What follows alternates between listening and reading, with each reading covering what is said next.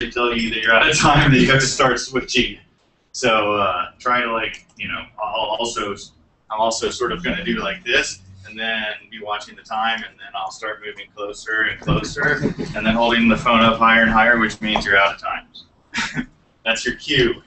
Um, all right, so uh, one other thing I'll mention is um, I have, so we have, yes, right, I'm running out of time. Um, so we have uh, six, or we have five speakers. I have one remote video that I'm going to play for somebody if we, if we don't, and I've got three people on backup, including myself, who were going to speak yesterday. But if you're interested in doing a lightning talk, right, I want to have as much variety as possible, and I don't want to talk. So if you want to go, the, the, the form is still open to add two more to add two more slots. I want to encourage people because we haven't had very many lightning talks from the UFOA community yet or the IAM community. So you know, for those folks in those communities, I want to get we want more variety here. So that's my quick pitch, and you still have plenty of time right now to sign up. So anyway, about 30 minutes before we get to that. Um, first speaker, Nico from the OAE project. Uh, I forget. All right. talking about Bootstrap and Font Awesome. Where is it? Oh, sorry. Go. Um, yeah, so I'll, I'll, be talking about this uh, change that we made in the last year, which I actually think is, is really awesome being a uh, sort of a UI guy. So as you sort of develop a project and start to add things to that project, you really start to uh, accumulate CSS, and it's, it's actually really hard to keep that high-level overview uh, and make sure that this CSS is sort of modular, reusable, consistent, and so over time, you start to grapple with uh, like cross-browser issues, inconsistencies. Um, sometimes you create things that are hard to skin and so on. And this is something that happened for us as well. Uh, so, so back in January, we decided to use a, uh, a, CSS framework, and the obvious choice was Twitter Bootstrap. That's what most people seem to be using these days. Um, and at this point, everything in our UI is actually based on Bootstrap. It is the first file we include, everything's based on it. Um, we were a bit hesitant to start off with, so of thinking that Bootstrap seems pretty generic. Uh, will we be overriding it all the time, and will we just end up with more CSS than we have right now? Uh, but we decided to do it anyway. Um, and the this is Bootstrap. Um, and the change has been absolutely awesome. Has been amazing. Uh, we've been able to decimate the amount of custom CSS that we have. Um, there's many widgets in our UI now that actually don't have any custom CSS at all. Uh, and if there is any, it's mostly just margins and headings. Um, has tremendously helped increase consistency. Um, all the documentation is already there, so we actually don't have to document things anymore. Uh, users, uh, developers might be a bit might be familiar with this already, so that helps as well. Um, it, had it has reduced the number of cross-browser issues that we have pretty significantly. So I'll just show a little bit about the sort of things that they offer. Um, so this is all pretty well documented on their website. They've got their sort of whole grid system that allows you to do all sorts of, uh, of layouts. And again, we can just, uh, in OAE, use whatever code they document on their site, and it will actually work. Um, so this is their base stuff, and they've got a whole bunch of stuff for things like buttons and forms and uh, tables and whatever. Um, so the different types of buttons, for example. And so this is what we are using in our uh, in our UI as well And again, we can just reuse whatever they have documented. Um, and then we've got a whole bunch of um, slightly more advanced components, uh, like things like dropdowns, modal dialogues, um, things like notification messages, progress bars. It's actually been amazing how much of our UI this covers. Um, and in many of these cases, we'll just be able to go with the default uh, behavior. The margins and the paddings will be taken care of. It'll be really easy to, uh, to sort of reuse. One thing that um, Bootstrap does is defines colors as well, which is actually not that good for an application that we want to be able to use um, at various institutions that will want to do their own branding and skinning. Uh, so one thing that we did is we pulled out all of the um, the colors that Bootstrap defined and pulled them into the less file, um, and which basically allows us to create this UI where um, in the administration UI you can actually override those values. Um, and so the less file is the only file in the entire UI where we define any colors. There's no colors anywhere in the code base. Um, so everything can be skipped. Um, one of the things that offer as well are these icons. um, a whole bunch of icons based on Glyphicons. Um, and the way in which you use them is by doing this i class with a certain, uh, or this i tag with a certain class documented over here. Um, now, that's pretty cool, almost awesome. Um, but they are still background images, which have a few, um, which obviously have a few issues.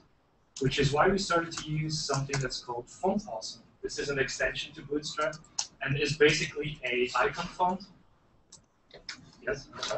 Um, where the characters of the font are mapped to uh, like vector images which represent the icon. Um, what this means is they've got a list of, they've got a ton of icons they support. Um, it extends Bootstrap, so you can use the same classes as documented on the Bootstrap uh, website. Um, but these are all vectors. Um, it means that there's no images um, for any of the icons that you use. Um, because this is actually font, you can style it with CSS, so you can change its size, you can change its color, it will actually sort of take over the, the, the size and the color of the context that it's in, or you can style it separately, um, which makes it a lot more maintainable. It means that you don't have to have custom images per skin that you have. It means that you can add stuff and it'll just be able to style it. Um, and yeah, I'll, I'll actually quickly show how easy it is to use. Um, so maybe let's take this magic icon magic, um, and I'll go to OAE. This is an, uh, an OAE page. You'll see that this one, this one, this one, this one, this one, and all of these are all um, font awesome icons. So I'll actually go ahead and I'll do some editing on the fly. Yep, you're good. So click the list item.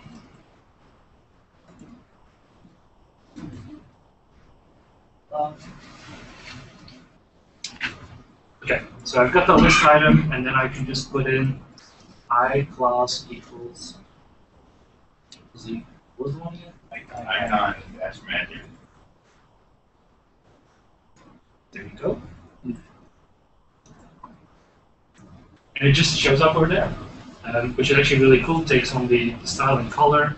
Uh, or if I wanted to style it separately, I could just do um, color green, become green, or font size pixels.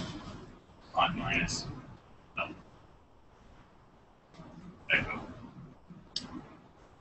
And you'll make it bigger. And it works really well on uh, like high resolution displays Retina displays. So that's what we're using. It's really cool. Very good. Uh, any questions?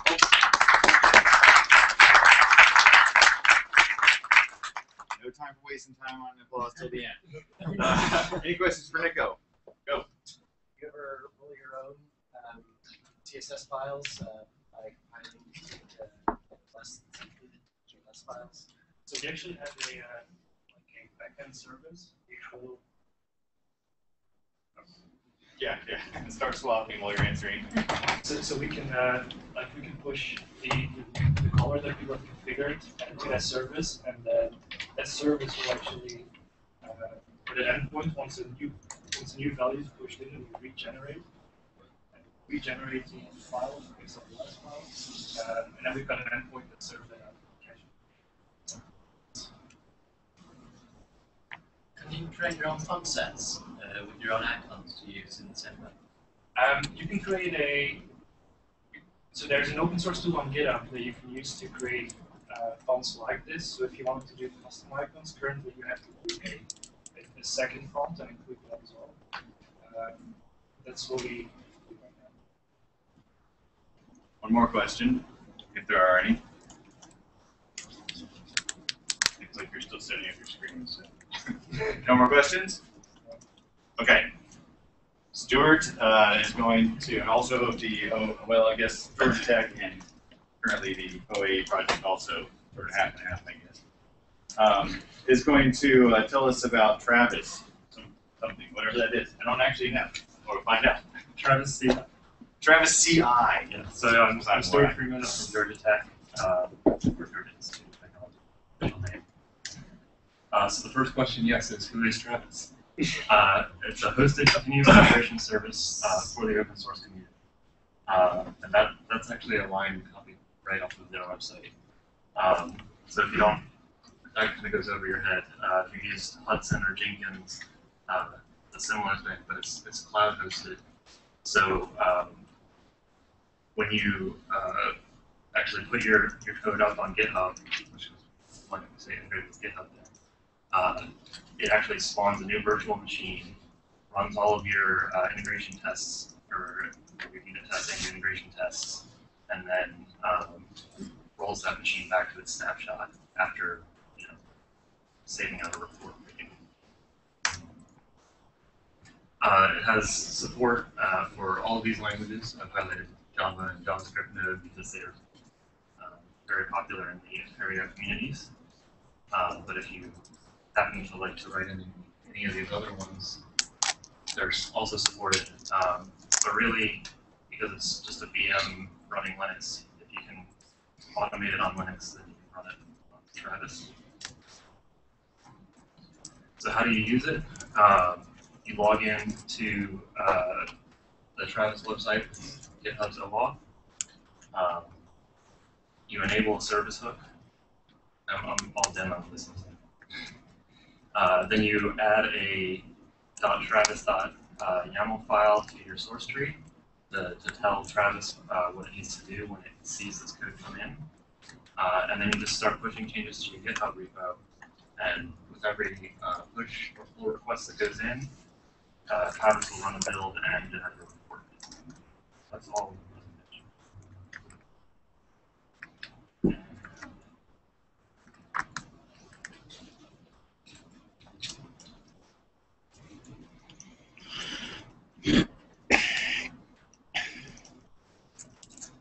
So this is um, the, the Sakai project Hilary is the, our backend for OAE. Uh, you can see that our builds are currently failing as of two minutes and 22 seconds ago. but prior to that, we had four good builds in a row. So. We did that commit? Simon. oh my gosh. So yeah, if we go to the, the current tab and the um, network doesn't die on me, you can see that yeah, that was Simon. Um, and we get the, the full log of what went out to the, the terminal uh, when the tests were run. Uh, these ones that have sort of a gray background the before install on the side uh, are actually the commands that, that are being run, and the before install is the, the stage of Travis build that they came from. Uh, so you can see it's, it's just doing um, standard Unix command stuff, starting and stopping services that we need or don't need, uh, pulling stuff from Git uh, in order to, to actually run the tests.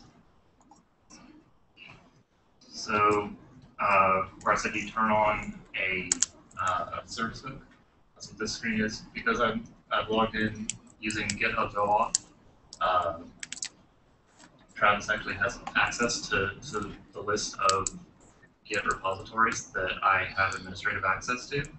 Um, all the ones that start with stuartf are in my actual account. That's why I have administrative access.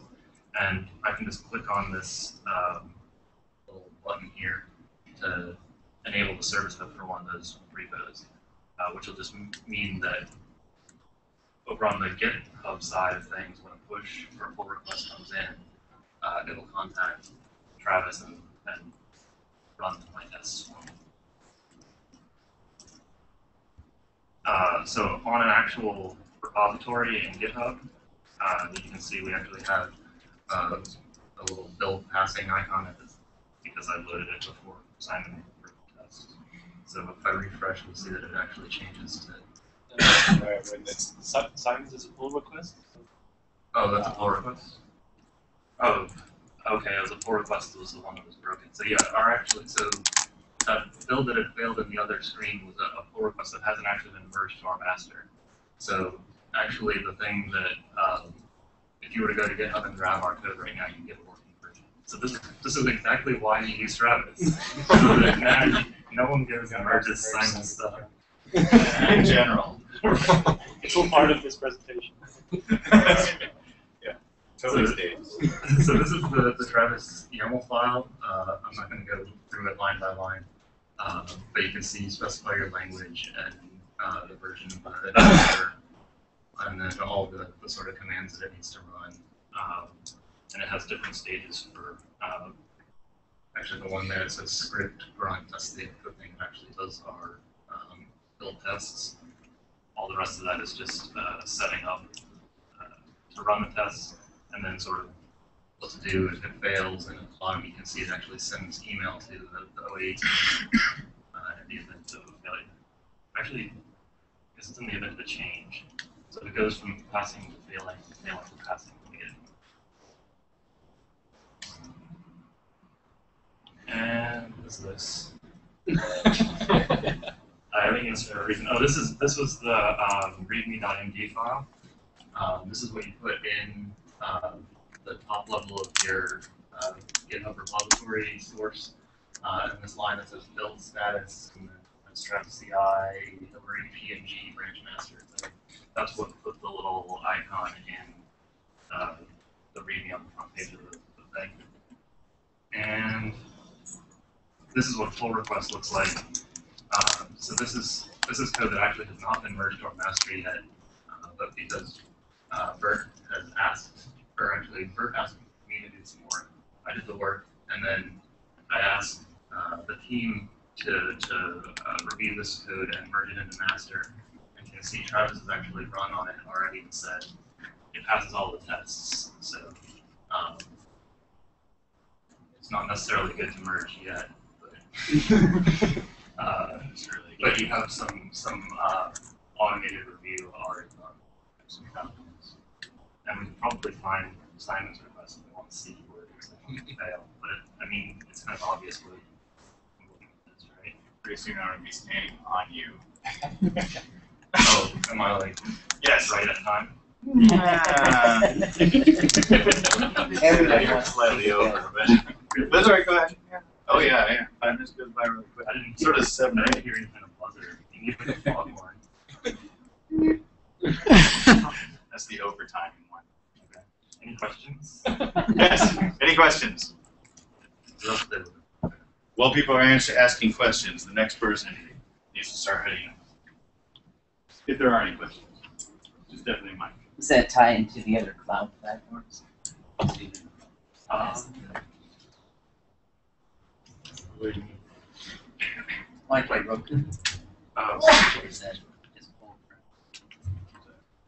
Look at this. Um,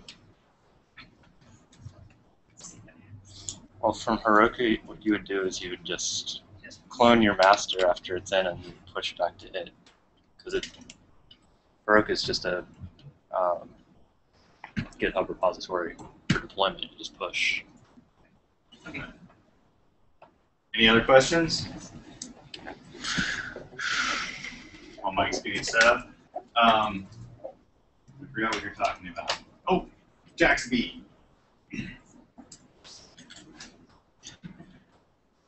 Where are you, where, who are you associated with?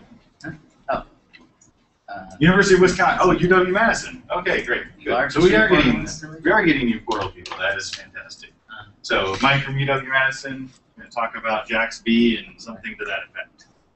Whenever whenever he gets his screen bigger. And how do you do that? Uh, you, I don't know, drag maybe. Oh, uh, clone your display. Set your display to um, there. Preferences. Displays. Arrangement. Jump to mirror. Oh, that way we can try to have a second, second display. Right now it's all on, oh, that's kind of iffy. Let's try to achieve the. That's better. Alright, now you're good. That's good enough. We'll find out. Uh, yeah. Um, we're working on revising our legacy course resources. Application was presented a list of courses for students. So the title of the talk was a really long one about that, but I was told that was boring, so it's just why JAXB, which is Java architecture for XML bindings. So as you can see from this little picture here, everybody see the mouse? So it goes both ways. You can um, take Java and generate XML, or you can take XML and generate Java, which is what we're doing because they're using um, XSDs to model the data for what is used in the courses portlet. So I had to get familiar with uh, this tool and with XSDs. So it takes them through the compiler and then generates the JAXB annotated classes, which are real ugly Java classes, and an object factory to generate the instances. So now for the real trick is to remote back to Madison. So XSDs look like this. For those who don't know, it's uh, basically like XML, but it's defining data types and the organization of them. And then there is a bindings file that allows you to associate your XSD here with a package name. So when your job is generated, it uh, puts in a standard kind of big long package name format. So there's some other tricks you can do. Just going to deal with the basics. Question? Okay. Um, let's see. So we're using the Maven build tool. So there is a JAXB plugin that allows you to specify uh, a great deal of parameters. There's a whole lot of parameters for if you're running the tool. It's XJC is the command line tool to generate the Java code from the XML. And this is where we run out of good see. Right, your cap's probably off screen. So, I can grab that. Grab that right there. You grabbed it a little too high. Uh, well, I want what's on the Right. right side. Yeah, drag it. So that's- oh. I don't want that. I want what's over here. That's all right. What's the key that lets you explode the windows? You know what I mean? Lets you. That's what it's at. That one. Whatever you just hit. Yeah. Let's see. That's all right. Um, so I had to make changes. I was um, expanding the data model. It's kind of a simple data model, and I added a bunch of stuff. So they already had some, uh, as we saw, these XSDs, and there was a common one.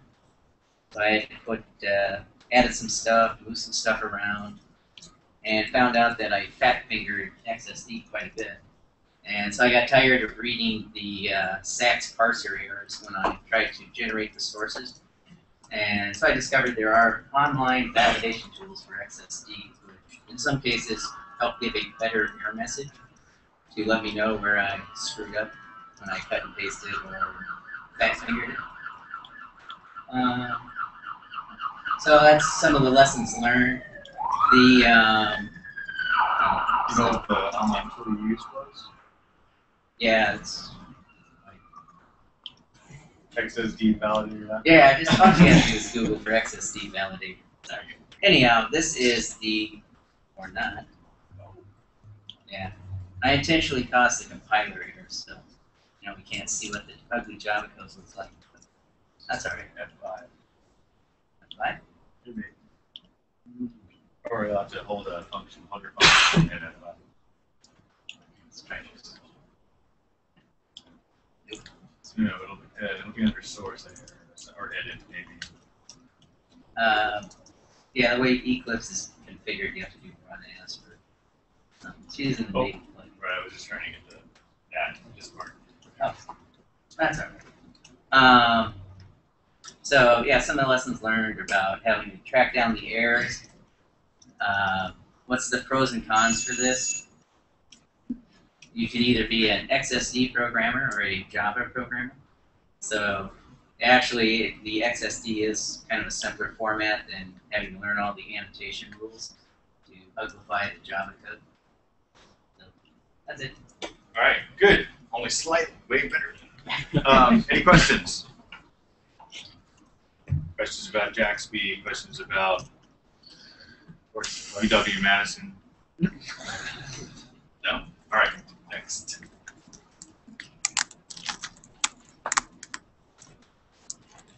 I'm Margaret Ralph from Pepperdine. I'm going to make this real quick because I'm not going to show you anything. I'm just going to ask for something. I figured if I've got a room full of developers, uh, you know, it- it's it's a chance to just ask for the favorite thing that I've been looking for. So I teach online is, and um, in in the forums, knowledge building is really an important part of what I do. And what I would really like is some way to um, mark messages as I'm reading them as wonderfully insightful. What I want is a button, a drop-down button that allows me a, a few choices so that I can grade that message quickly and efficiently, or a like button so that students can indicate the messages that they said were most important. So, you know, a like button or a quick way to register that this student has, you know, reached some extra level of, of writing that isn't going to be easily visible when I go back and look at the list of, you know, the length of messages and the number of messages they sent. So it's a quality measure, that's all. Well, it's easy. Does anybody have any thoughts and comments? Sounds great. That's right. Uh, I'm sure that uh, we can get uh, you know Philip.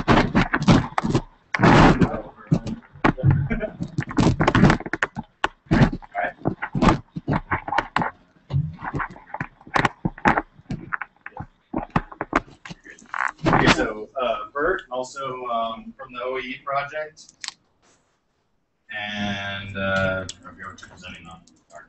Widgets. Widgets.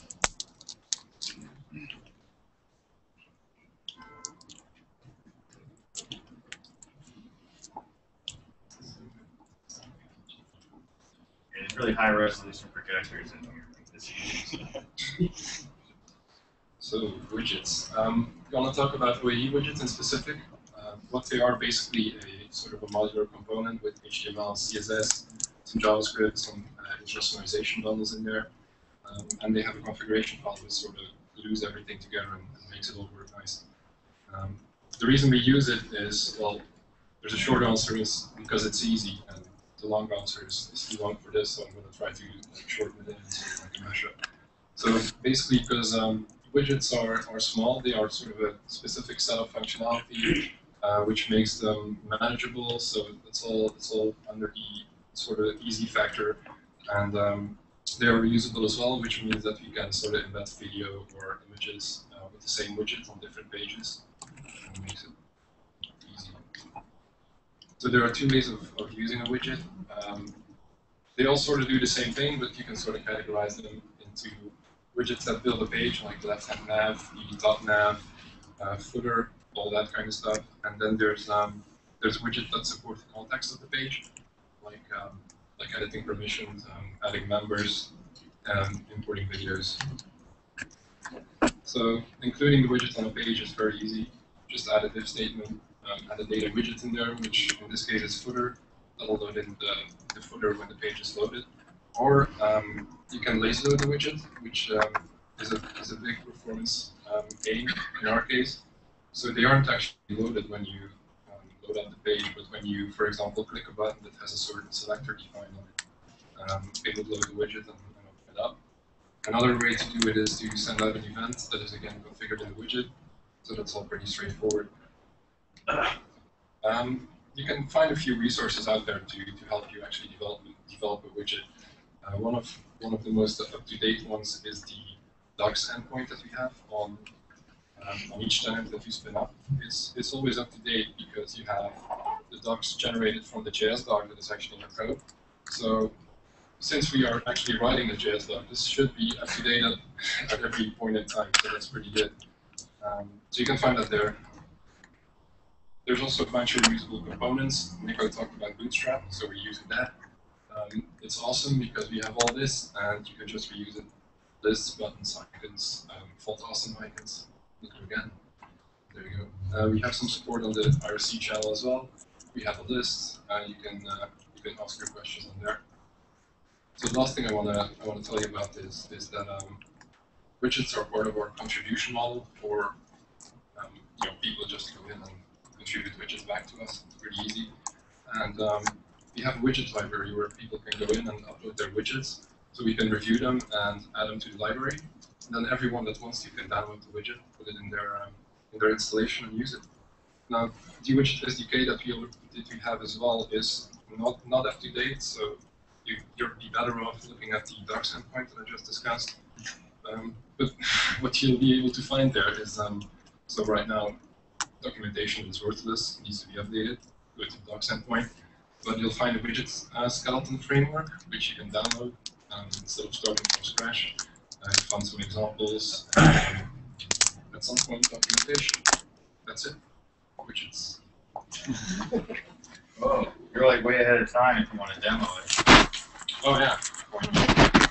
So, oh, I've got it right here. Okay. also, uh, you know, don't feel too bad about having documentation out of date or anything. That's the sort of Um, so this is the, um, the library on the. It's currently empty, but what you see here is in the center we have the library widget, which sort of supports the context of this, this page as I mentioned before. And you can upload stuff in here like this. It'll, um, it'll lazy load the upload widget, um, where you can just maybe I should select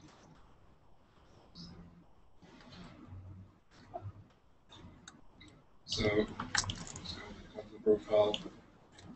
This will load the content uh, context basically, and this is uh, sort of a preview of the random guy that I don't know is in my library for some reason. Um, this is a widget on its own. Uh, you have the top navigation here, which is a widget. You have the footer, which is small but is a widget. Uh, content comments right here. Can add some Google comment here. You know, all of these, these things are widgets. Another time. Got about a minute. Let's show you some other widgets. so um, we have some uh, Elasticsearch powered stuff in here, which is uh, searching through um, through all the stuff that I have in there. So we go to the content, we see this guy. Uh, this guy is being rendered in the search widget. Uh, you can switch views here, all that kind of stuff.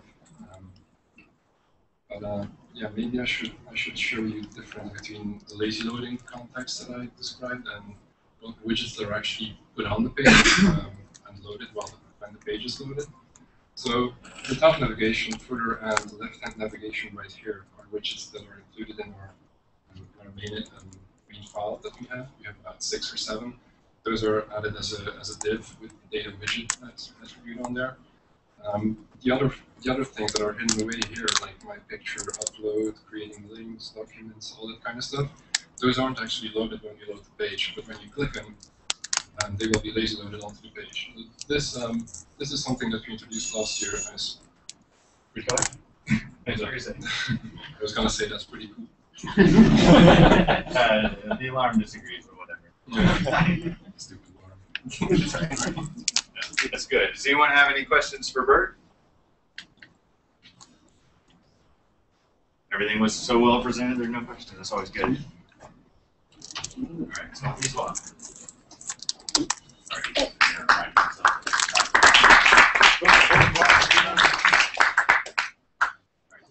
Oh, okay, so Uh, who is not using Scrum? So everybody's using Scrum. there you go. Uh, So, is I'll, I'll just uh, well, this will be pretty quick, but uh, everybody else is using uh, Agile Scrum in back at your institution. No, we're not using that. Oh, okay, all right. Okay, there you go. Other people All are right. too embarrassed to say, but we'll we're not using Ask the question the other way, how many people are? Yeah. Well, I thought that was going to be a bad one. How many people are using Scrum? All right. Well, you know, because I figured not everybody raises their hand. And, uh, all right. We'll, uh, It's all right. It's okay. Uh, I think we want um, Let me see if this magically uh, picks it up. It does. Um, all right, so this is uh, I, I put the um, the title was how uh, Scrum saved my uh, work life. But uh, so this will be really quick because a lot of you are familiar. But um, it just was a really enlightening to me um, five months ago, this is how I was managing uh, our portal group. I had, and I thought it was pretty advanced because I was using a wiki page, which made it easy for me to uh, keep my uh, task list, uh, you know, make a new copy of it every week, and then we go into my meetings uh, with this task list, and I didn't have to type all this stuff in. But that's all it was, and things just kept building up, and I keep shoving stuff to the uh, back. And uh, so this is um, this is actually a copy of uh, Eric Dalquist's uh, printout of it, where we'd go in a meeting and he'd make some notes about what he had to do. Kind of gave him some direction on where he was going to go for the uh, for the week. But of course, uh, then we'd come in with some urgent requests, and he'd actually write things down on post-it notes and put it on his uh, map for the week. And then we get a few more things would come in, and things would just be changing over the course of the week. Um, and this is how we were managing um, how work was done on the team. Um, and he'd have to put reminders of, oh, he's got to talk with uh, another person. There's another person that um, uh, a product manager for us that I work with quite closely with, and uh, she'd be coming in with demands or she'd run status on stuff, and he'd have to make notes to uh, send status updates. So this is really quite a mess. But um, four months ago, we added two new developers to the team, and we decided we are going to really jump in full force uh, and do Agile Scrum.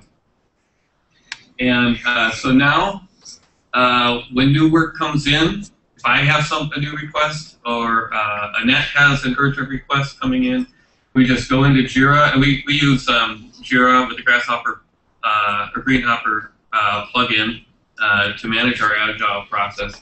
We just go in and we add that, um, add a little uh, description of what we need done, or if Eric figures out that he needs to do something, he'll add um, something, uh, add data tables to resource server.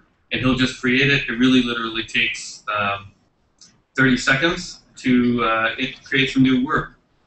And then um, uh, once a week, Annette and I are getting together as kind of the face of the customers.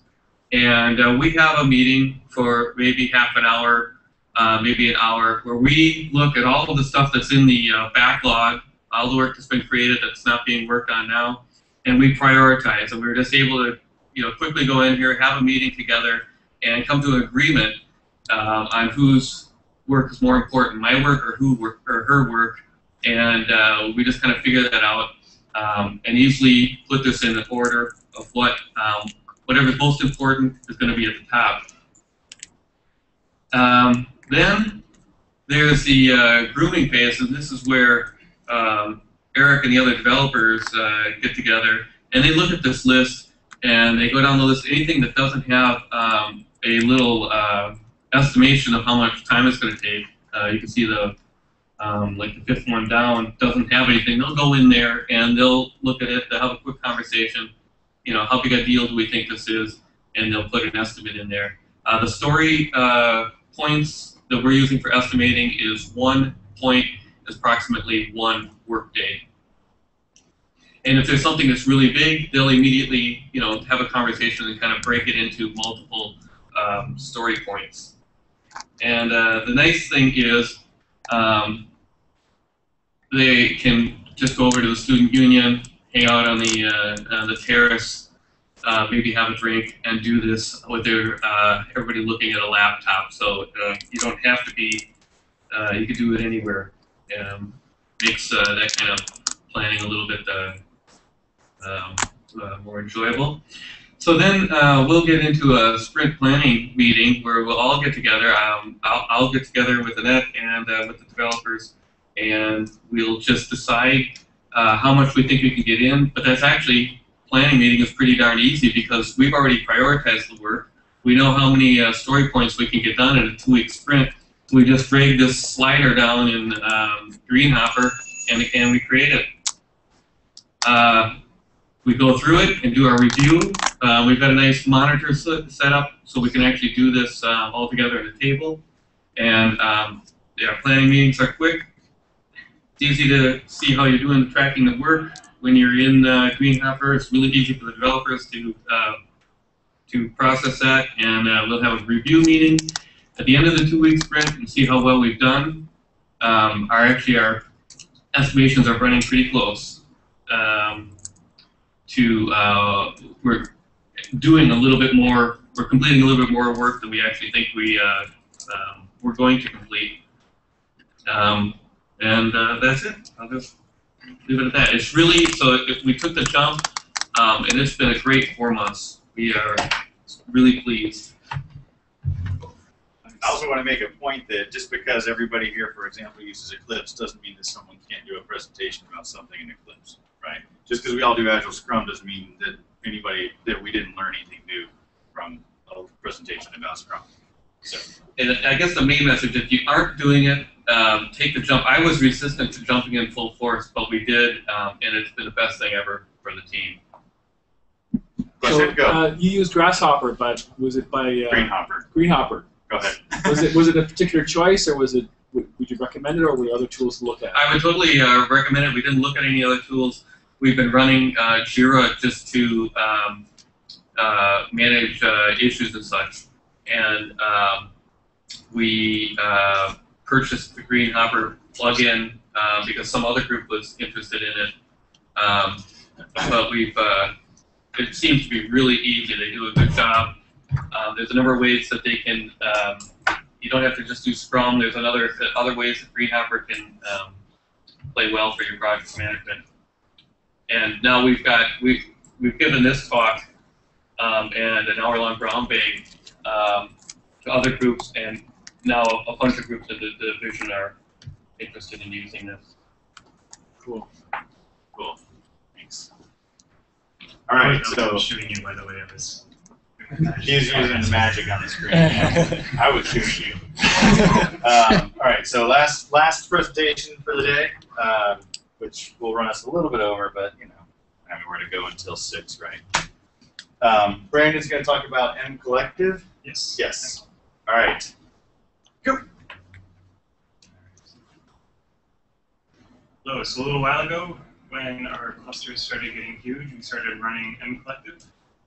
Um, uh, allows us to do parallel execution of commands across a large number of machines, which is very helpful. Um, we have a little over 20, 20 machines running in our cluster. And for example, if I need to figure out if what version of a package is installed on all the machines, or if I had to, have to reboot a service or install a new service, so I don't want to have to SSH into each one of them and do it manually. Uh, so this is how it works because I had no idea how it worked at first and it intimidated me and frightened me. Um, but now I understand how it works, and so I'll share that with you. Um, you uh, you log into a client machine or a controller. When you do some kind of MCollective command, it goes to an ActiveMQ uh, messaging system that all your nodes in your cluster are subscribed to. They receive the message, uh, they send a, res- a response message back to ActiveMQ, which your client machine also subscribes to, and then it, it receives them all. So it just kind of waits for everybody to for everybody to reply, and nobody replies within some configurable amount of time, then it says the machine is, is sleeping. So now I'm just going to do a little demo. Quick. So this is one of our machines.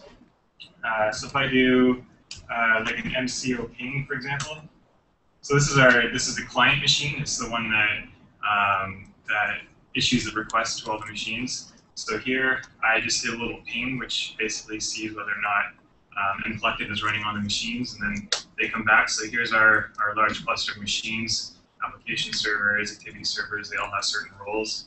Um, if I wanted to see the, the status of our Node.js package, what, what version is Node, of Node.js is running machines, maybe they're out of date, I can do MCO package status Node.js, and then it'll send that message out. A lot of them will say we don't have it installed, but then a lot of them will say we do have them installed, and then we're all they're all running the same version. So I can run a command like I'm not going to do it because this is actually running our OAE project.org, but I could do MCO package upgrade Node.js, and then it will cause them all to upgrade that package, or package install Node.js something, and those who don't have it will get it. Um, for services, I can do MCO service status, uh, let's say Cassandra. Cassandra. So see if they're all up and running. Um, so DB0, 1, and 2 I'll have Cassandra running, the rest of them don't. Um, I can check the Java version or whatever, but you get the idea. Um, so uh, services, packages, and um, some little things like MCO ping you can do. Um, it does have things for Puppet. If you're running Puppet, you can just do uh, apply your Puppet manifest across all the machines in your cluster at once. Um, you can do things like check the Puppet uh, status. I think, Yep, that'll work. So it'll say the last time it ran on all the machines, we've halted Puppet. Um, you can see the summary if there were errors when Puppet ran. So maybe so you're getting some kind of configuration drift now because there's some errors in the Puppet manifest. Um, so it'll kind of give you statistics uh, about that. So it's a good bird's eye view of everything that's going on in your cluster and how things are running. Questions? Can you um, filter so that you run a command only Oh, on a yeah. subset of machines? Thank you. Uh, so you can filter on Puppet manifests uh, which machines have certain things installed. I don't know the syntax of that actually, um, but for something like just tell me about this machine, I can do Puppet summary I of DB0. So dash I is to filter, and then it'll just do summary statistics for one node. So I could just restart Cassandra on that node, for example. Um, so you can has those filtering things. Uh, John, do you have a question? How, how does this compare to like Capistrano?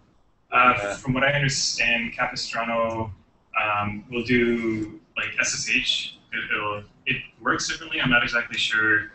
Um, it's the same space though? The reason, the reason, yeah, same space. The reason we chose MCollective is because it had built-in Puppet functionality, and I don't think Capistrano does. Uh, that's the only reason that we picked it over again. Any other questions? Going, going. All right. Um, please thank all the speakers.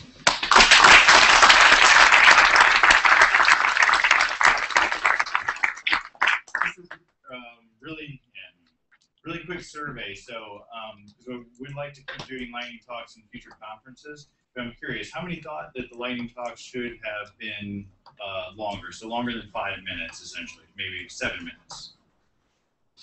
A Few people. Okay. How many think the lightning talk should be shorter than five minutes, which is probably not manageable? Okay, good. so we might try to do seven-minute lightning talks. Um, how many think that they would like to have seen more lightning talks in the next conference? Like, okay, that's a couple. Um, anybody think we, sh- we should have less lightning talks next conference? Okay, that's good. That's good feedback. Thank you, everybody, for coming. Thank you again, the speakers, and have fun at the demo session.